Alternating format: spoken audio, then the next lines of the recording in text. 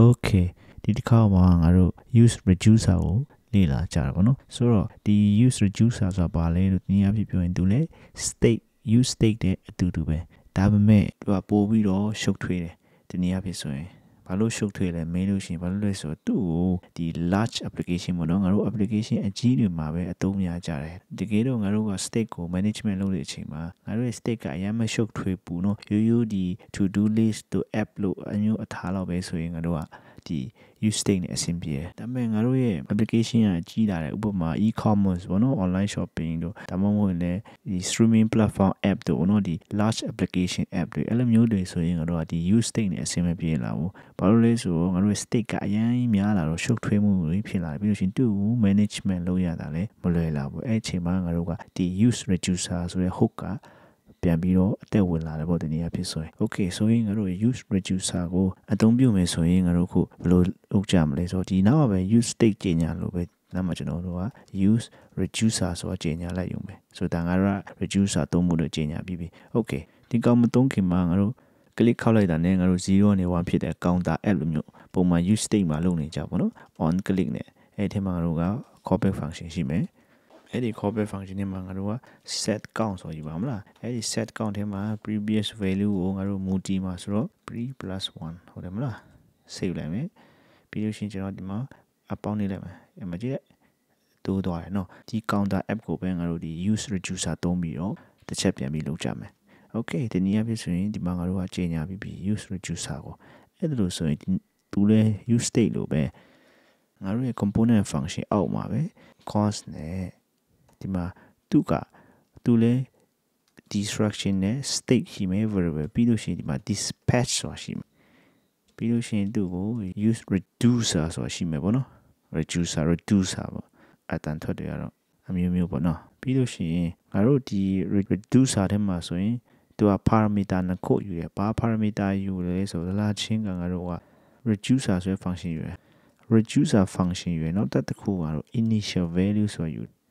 ဒီမှာ variable name ကတော့ကိုကြိုက်တာပေးလို့ရတယ်နော် initial value ကျွန်တော်ပေးလိုက်မယ်ဆိုတော့ဒါကငါတို့ဒီ use state နဲ့ရေးပုံရင်းနေအရင်တော့မကွာဘူးဒါပေမဲ့ဒီနေရာမှာသူက argument အနေနဲ့ဒီ reducer ယူတယ်ပြီးလို့ရှိရင် initial value ယူတယ် okay ဒီနေရာမှာကျွန်တော် console log လုပ်ကြည့်မယ် use reducer ကို console log လုပ်ကြည့်ရအောင်ဒီနေရာပြည့် save လိုက်မယ် reducer function ကမလုပ်ထားဒီနေရာမှာကျွန်တော်ဖြတ်ကြည့်အောင်ဒီကောင် okay ဒီမှာကြည့်လိုက်ငါတို့ use reducer ဒီအောက်မှာသူ့မှာ reducer function ရှိရနော်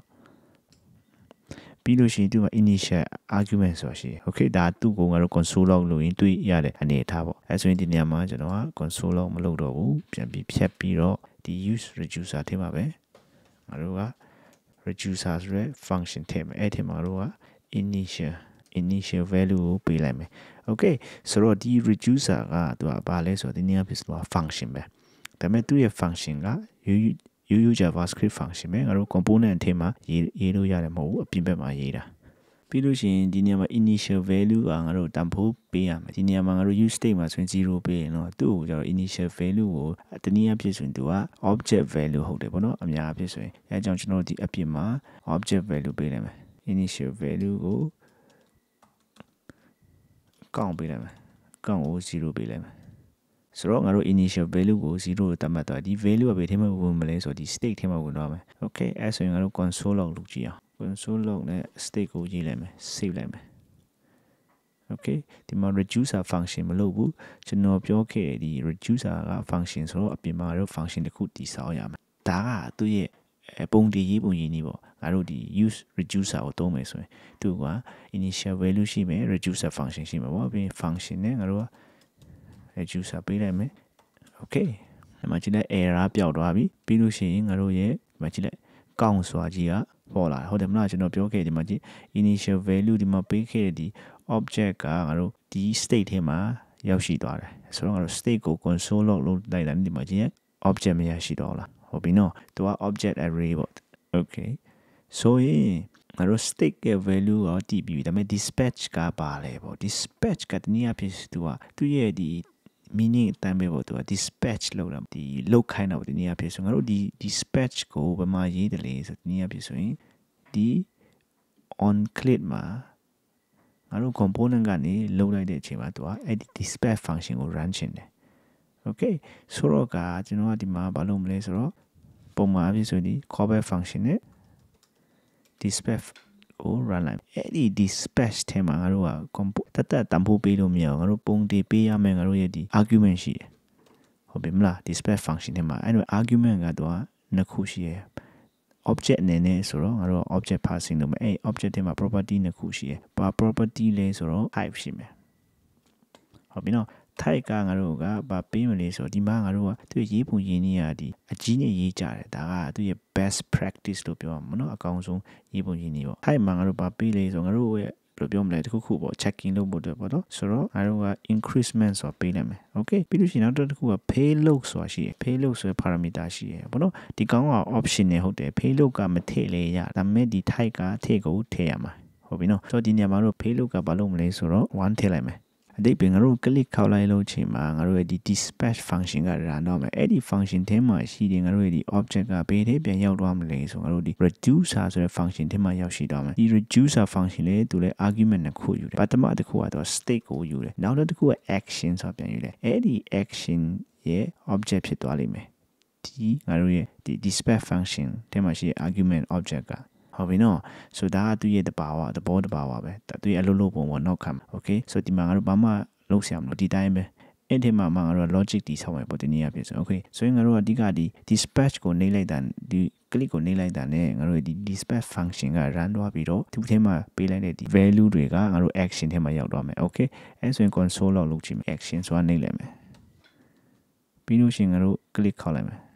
ဒီ state ကို console လောက်ကိုဖြည့်အောင်ပြီးလို့ရှိရင်ထိုင်လိုက် ဒီမှာကြည့်လိုက်တွေ့လား action ထဲမှာငါတို့ရဲ့ဒီ dispatch ရဲ့ argument object က passing လုပ်တော့အဲ့ထဲမှာတို့ပါရှိမလဲ increment နဲ့ payload ဆိုတာရှိလာတယ်ဟုတ်တယ်နော် okay ဆိုငါတို့ကဒီနေရာမှာငါတို့ငါတို့လုပ်ချင်တဲ့ logic ကဒီမှာတော့လုပ်တာအဲဆိုရင်ငါတို့ကဘယ်လိုလုပ်မလဲဆိုတော့ if အကေ၍ငါတို့ရဲ့ action.type က equal to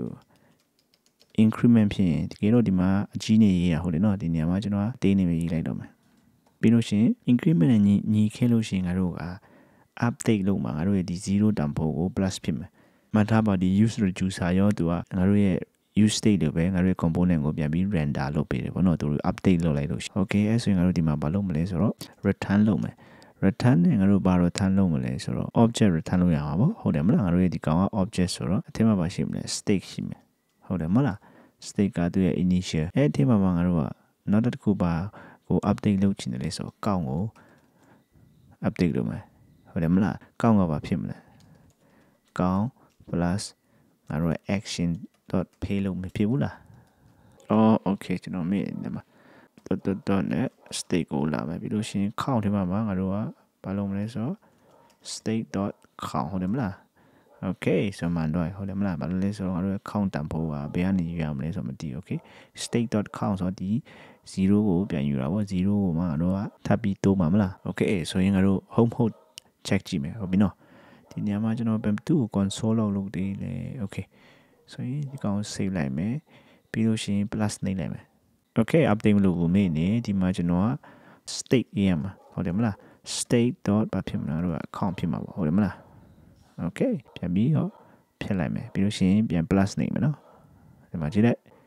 okay ငါတို့ဟာ update ဖြစ်သွား okay ဒါကငါတို့ use reducer ကိုသုံးပြီးတော့ငါတို့ state ကို update လုပ်တာ okay ဆိုတော့ use state ကပို့လို့ရနော်တနည်းအားဖြင့်ဆိုရင်ဒါပေမဲ့လည်းဒီကောင်ကသူ့ရဲ့ use case ပေါ့နော်သူ့ရဲ့အသုံးဝင်မှုတွေအများကြီးရှိပေါ့ငါတို့ application ကြီးလာရင်ပေါ့တင်းရင်တော့ငါတို့ use state နဲ့အဆင်ပြေငါတို့ state management လုပ်ရတာ okay ဆိုတော့ဒါကငါတို့ counter f နဲ့ဒီကောင်အလွယ်ဆုံးနဲ့နီးနေရှင်းပြတာ okay ဒီနေရာမှာကျွန်တော်တို့နောက်တစ်ခုနည်းနည်းလေး complex လုပ်တာလုပ်ချင်အောင်ဒီကောင်ကိုဖိလိုက်မယ်ပြီးလို့ရှိရင် form လုပ်ရအောင် form တိဆောက်လိုက်မယ် okay ပြီးလို့ရှိရင်ဒီကောင်ကိုကျွန်တော်ပြန်ဖြတ်မယ် form လုပ်မယ် form ထဲမှာကျွန်တော်ကဘာဖြစ်မလဲ input ရှိမယ်မလား type ကဘာဖြစ်မလဲ text ဖြစ်မှာပေါ့ပြီးလို့ရှိရင်ကတော့ placeholder လုပ်မယ်အဲထဲမှာမှ enter your text name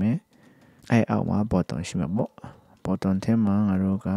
button က form ဆိုတော့ငါတို့ကဖြစ်မလဲဆိုတော့ submit ဖြစ်မှာပေါ့ဟုတ်တယ်မလား okay ပြီးလို့ရှိရင်ကျွန်တော်အခုပါလို့တက်လဲဆိုတော့ဒီနေ့မှာတို့ initial value ကဘာဖြစ်သွားမလဲဆိုတော့ဒီမှာ count မဖြစ်ဘူး people ပေးမယ်အဲ့ဒီ people ထဲမှာကျွန်တော်က empty array ထည့်မယ်ဟုတ်ပြီနော်ဆိုတော့ငါတို့က list လိုမျိုးလုပ်ကြည့်ရပါဘူး to do list လိုမျိုးငါတို့ထည့်လိုက်တဲ့ list ကိုအောက်မှာ output နဲ့ပြပေးမှာပေါ့နော် list လိုမျိုး style နဲ့ okay ဆိုရင်ငါတို့ကကျွန်တော်ပြောခဲ့နော်ငါတို့ရဲ့ form တွေမှာကျွန်တော်ကျွန်တော်ကဘာလုပ်မလဲဆိုတော့ on submit ရှိမှာပေါ့နော်ပြီးလို့ရှိရင်ဒီနေရာမှာ submit handler ရှိမှာဟုတ်တယ်မလား function ကအဲဆိုရင်ကျွန်တော်ဒီနားမှာ function နဲ့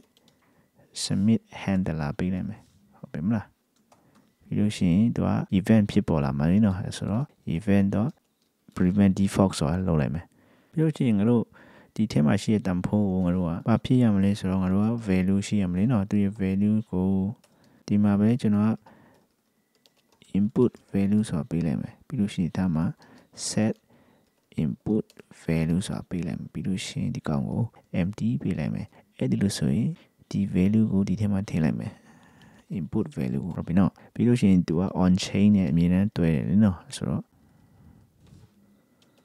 on chain နဲ့ event နဲ့ပေါ့နော်ပြီးလို့ရှိရင်သူ့ကိုကျွန်တော်ဒီမှာပဲတစ်ခါလေးလုပ်လိုက်မယ်ငါတို့ကခေါ်လိုက်မယ်ပြီးလို့ရှိရင်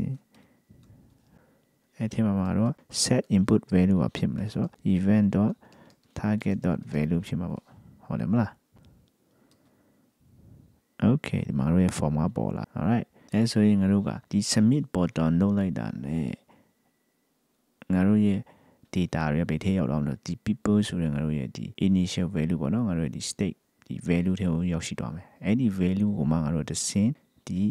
အောက်မှာ list နဲ့ပြတာမယ်နော် okay အဲဆိုရင်ငါတို့อืมနောက်ခဏတော့ပြောခဲ့တယ်နော်ငါတို့ဒီ space function ကိုအသုံးရတော့မယ်ဟုတ်တယ်မလားဆိုတော့ဒီ space function ကိုငါတို့အလုပ်လုပ်ချင်းပဲဆိုတော့ submit နေလိုက်တာနဲ့ငါတို့ဒီ space ကိုဒီမှာခေါ်လိုက်မယ်အဲ့ဒီထဲမှာငါတို့ကဘာဖြစ်မလဲဆိုတော့ကျွန်တော်ပြောခဲ့ရနော် type ရှိမှာမလား type ကဘာဖြစ်မလဲဆိုတော့ input address ဆိုတာပေးလိုက်မယ်ဟုတ်တယ်မလားပြီးလို့ရှိရင်ကျွန်တော်က payload ကို object နဲ့တည်ဆောက်ရအောင်အဲဆိုဒီမှာပဲ object တည်ဆောက်လိုက်မယ်အဲဆိုရင် new item ဆိုပေးလိုက်မယ်အဲဒီထဲမှာကျွန်တော် object တည်ဆောက်လိုက်မယ် id ကို mat.random ပေးလိုက်မယ်သူ့ကို string ပြောင်းလိုက်မယ်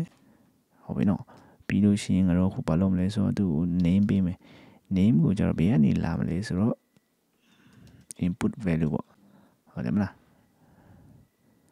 အဲဆိုရင်ဒါက object ဖြစ်သွားပြီเนาะအဲ့ဒီ object ကိုငါတို့ payload ထဲမှာပြန်ပြီး parsing လုပ်မယ် new item ဟုတ်တယ်မလားဆိုတော့ငါတို့က payload ထဲမှာ object ရောက်ရှိသွားရင်ငါတို့ဒီမှာရိုက်ထည့်လိုက်တဲ့တန်ဖိုးအဲ့ဒီလိုဆိုရင်ငါတို့ကအခု ဒီ reducer function တွေကိုအလုပ်ပြန်လုပ်ရတော့မယ်ငါတို့ဒီမှာ dispatch လုပ်တဲ့ဟာကိုဒီ action ထဲမှာရောက်ရှိသွားမယ်ဟုတ်တယ်မလားဆိုတော့ငါတို့ဒီကောင်ကို if action type is မှာဖြစ်မလဲဆိုတော့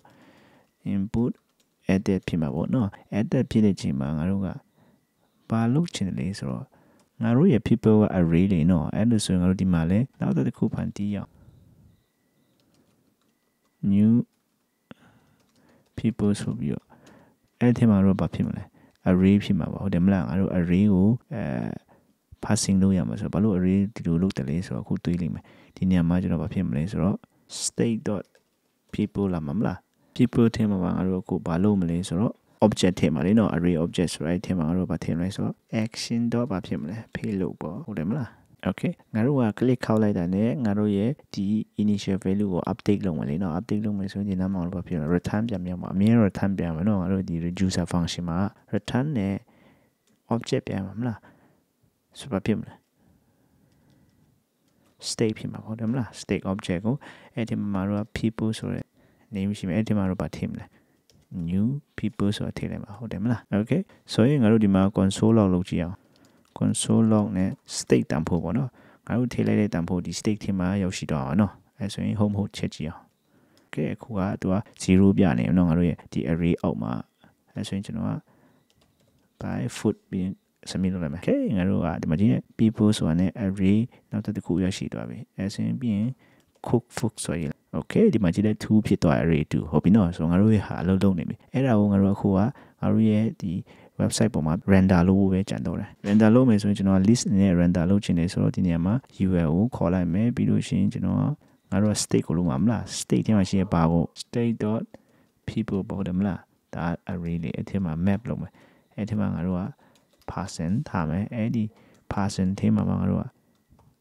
return ပါလို့မလဲဆိုတော့ ay နဲ့ပေါ့အဲ့ဒီ line ထဲမှာတော့ဘာဖြစ်မလဲ person.name ရေးလိုက်မှာပေါ့ ဟုတ်တယ်မလားပြီးလို့ရှိရင်တို့ဘာလိုအပ်တယ်လဲဆိုတော့ key လိုတယ်နော် react ကအမြင် key တောင်းနေဆိုတော့အဲ့ဒါကြောင့်ကျွန်တော်ကဟိုလုပ်ထားတာဒီမှာ id ပေးတာပေါ့ဒီမှာ id ပေးထားတာပေါ့ okay ဒါဆိုရင်တို့ save လိုက်မယ် save ပြီးတော့ဒီ log ကိုလည်းတစ်ချက်ဖေးလိုက်မယ်ပြီးလို့ရှိရင်ဒီကောင်ပြန်ပြီး refresh လုပ်မယ်ကျွန်တော် by foot လုပ်မယ်နော်ဒီမှာကြည့်လိုက်ပြီးလို့ရှိရင်နောက်တစ်ခု cook foot လုပ်မယ်ဒီမှာကြည့်လိုက်ဟုတ်ပြီနော်ဒီနေရာမှာနောက်တစ်ခုပြင်လို့ရသေးတာကငါတို့ရဲ့ submit လုပ်လိုက်တာနဲ့ငါတို့ဒီ text ထဲမှာရှိတဲ့စာကိုပျောက်ချင်နေဆိုရင်အခုဒီ dispatch လုပ်လိုက်တာနဲ့ငါတို့ရဲ့ set input value ကိုဒီမှာပေးကြည့်အောင်ဟုတ်နော်ပြီးလို့ရှိရင် save လိုက်မယ်ပြီးလို့ရှိရင် by foot လုပ်မယ်ဟောမှာကြည့်လိုက် cook foot လုပ်မယ် eat foot လုပ်လိုက်မယ်ဟုတ်ပြီနော် okay ဆိုဒါကငါတို့ရဲ့ use reducer ကိုသုံးပုံတူနေတူရဲ့သဘောတရားပေါ့ဟုတ်ကဲ့နော် okay ဒါကိုငါတို့နောက်တစ်ခုနောက်ဆုံးအနေနဲ့ diagram နဲ့ကြည့်အောင် ပို့ပြီးနားလေတော့ပေါ့ဒီ diagram ထဲမှာဆိုရင်ဒီနေ့အပြင်ငါတို့အခုလုပ်တူတူပဲ event handler ကဘာလုပ်လိုက်လဲဆိုတော့သူက dispatch လုပ်လိုက်တယ်ဟုတ်တယ်မလား event handler ကငါတို့ရဲ့ဒီ oma submit bottom လုပ်လိုက်တယ်နော် submit bottom ကိုနှိမ့်လိုက်တဲ့အချိန်မှာငါတို့ dispatch function ကိုအလုပ်လုပ်တော့တယ်အဲ့ဒီထဲမှာတို့က action object တွေရှိတယ် action object ဆိုတဲ့နည်းအားဖြင့်ဆိုရင်ဒီ reducer function ထဲမှာရှိရဲ့ဒီ action ကိုပြောချင်တာဒီ action ပေါ့ဟုတ်တယ်မလားဆိုတော့အဲ့ဒီထဲမှာ object က action ထဲကိုရောက်ရှိသွားတယ် dispatch ထဲမှာဟုတ်တယ်မလား အဲ့ကောင်က reducer ထဲမှာရောက်ရှိသွားတယ် reducer function ထဲကိုနော်အဲ့ဒီ reducer function ထဲမှာပဲငါတို့က state ကိုပြန်ပြီး update လုပ်တာဟုတ်ပြီနော် state update လုပ်တာနဲ့အဲ့ဒီ component ကပြန်ပြီးတော့ re-render ဖြစ်သွားတယ် okay ဆိုရင်ဒါကငါတို့ရဲ့ user reducer ရဲ့အခြေခံပါပဲလို့ဟုတ်ပြီနော်